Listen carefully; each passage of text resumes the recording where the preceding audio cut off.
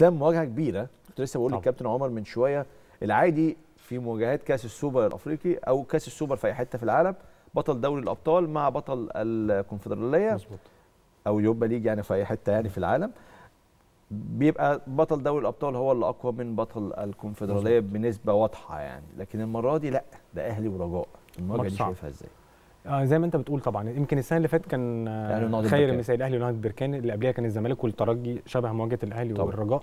لما بيبقى الفرقتين كبار بتعمل show أحلى لمباراة السوبر الإفريقي. ماتش صعب آه، ماتشاتنا قدام فرق شمال إفريقيا كلها أندية منتخبات كلها مش سهلة ابدا.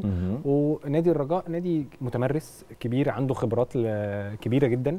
عنده لعيبة كويسة عنده قدرات في الملعب وعندهم يعني بيعرفوا يمشوا ال game يا كريم زي ما هم عايزين يعملوا بيعرف النهارده حتى لو هو أقل منك فنيا هو بيعرف يجرك اللي هو عايزه. صحيح. فبالتالي ماتش مش سهل. يمكن أنا شايف الأفضلية ممكن تكون للنادي الأهلي آه، وجود الجمهور الملعب الأجواء آه، لعيبة الأهلي الدولية كلها لسه عايشة أجواء قطر وبطولة العرب لسه موجودة زي ما هي. فأعتقد ده ممكن يدي أفضلية الجماهير المصرية في قطر وجمهور النادي الأهلي. أعتقد هتدي بوش كبيرة جدا للأهلي في الماتش بتاع بكرة.